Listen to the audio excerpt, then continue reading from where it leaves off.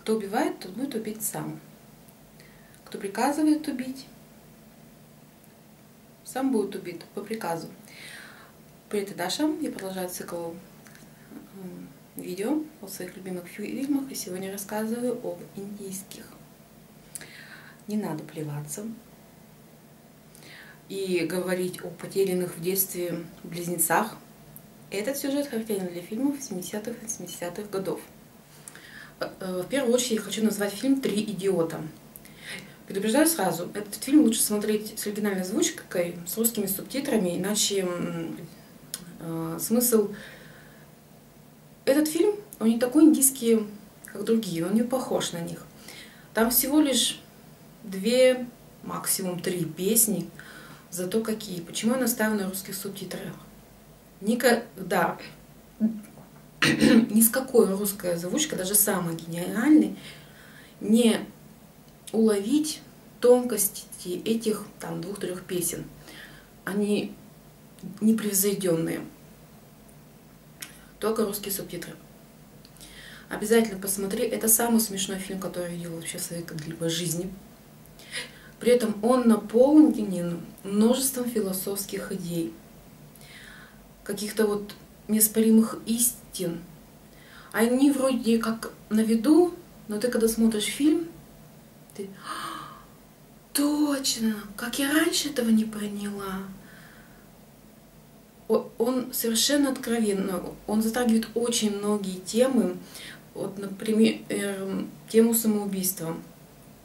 Главный герой, ну, в случае печального, сказал своему другу, положи в свой портмоне фото родителей, и когда тебе закрасит в голову дурная мысль, э, представь, что станет с их улыбками, когда они увидят твое тело. Вот, и там действительно очень-очень-очень много мудрых мыслей. А еще я э, обожаю индийские фильмы, я их любила всегда, сколько себя помню.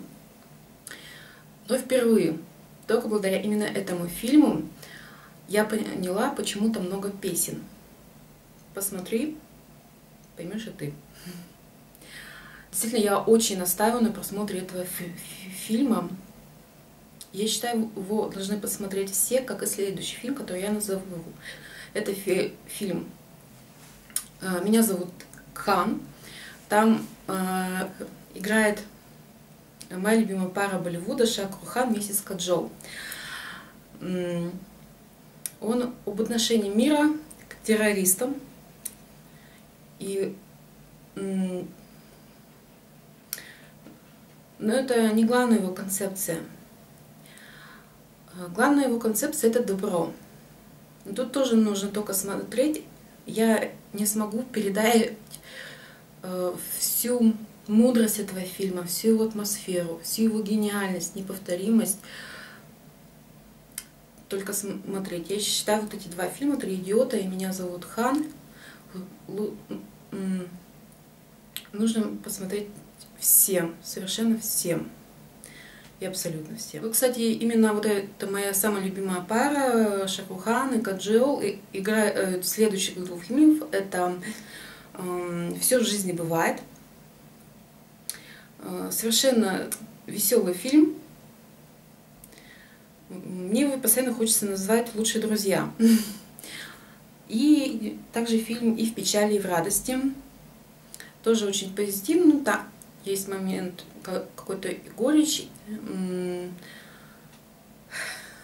Тоже классный фильм. Люблю, как, приз... Э, как трудно признаться э, в любви там в главных ролях Карина Капур.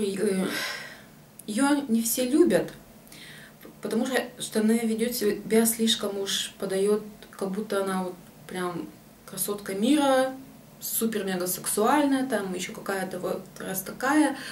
А, но в этом фильме, в этой картине она туда, на удивление, органично вписывается. И завершает список моих любимых индийских фильмов.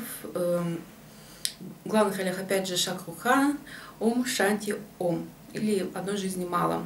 Это фильм о реинкарнации, Я обожаю реинкарнацию. Конечно же, о любви.